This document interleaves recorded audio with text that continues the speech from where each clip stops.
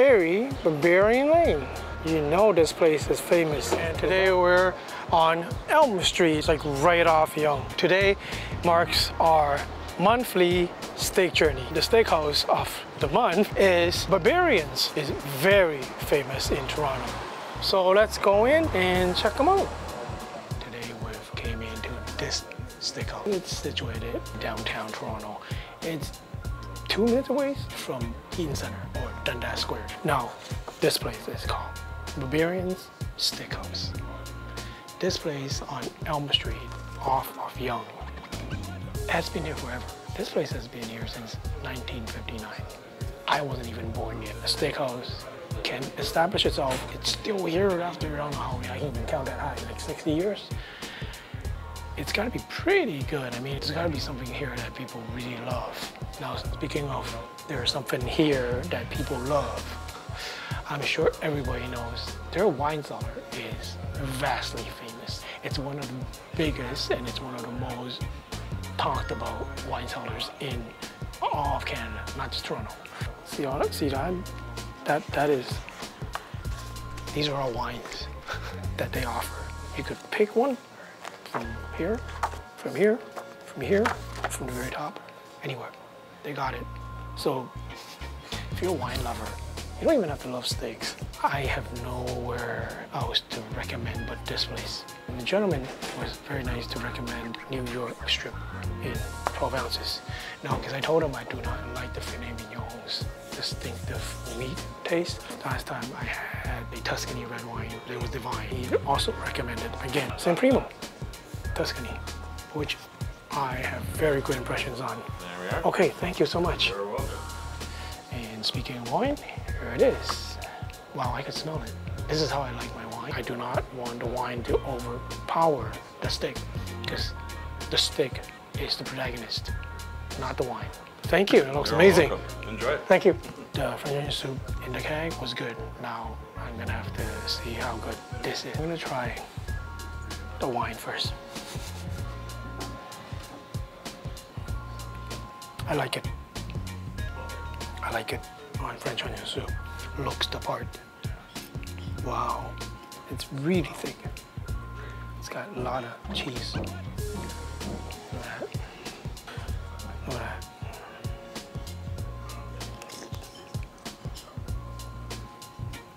This onion soup is pretty supremely good.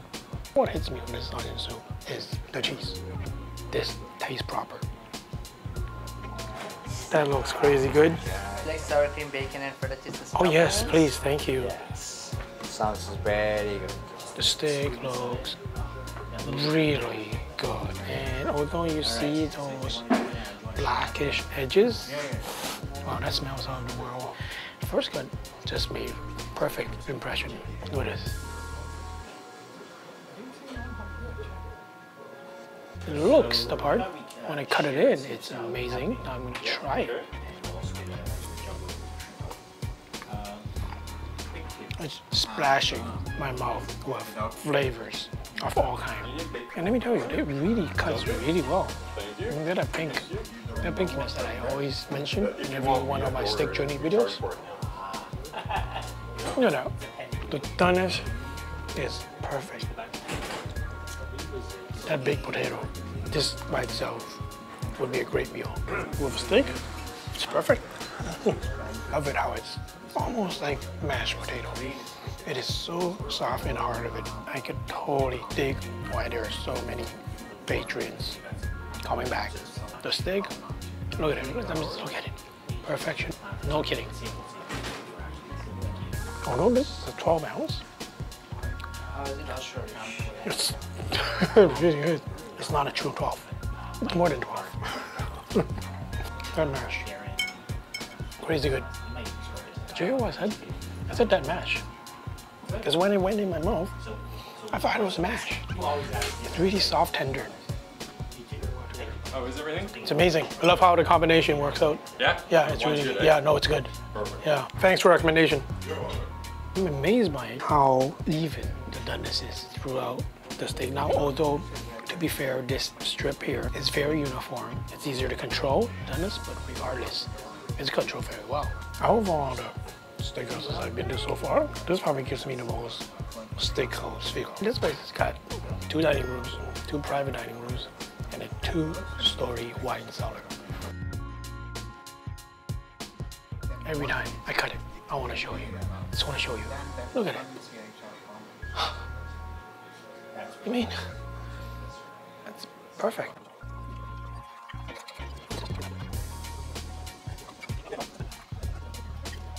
This cut is just in perfect position for this to cut in. Enhances that portrayed tenderness.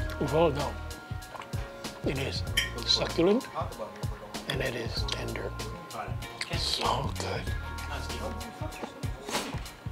This baked potato, along this New York strip, and this Tuscany should come as a combo. The flavor of this is not a usual flavor. Either their marination, or the spices they use, or the way they cooked it, or the quality of the meat that is used. I would absolutely have this once a week. No question.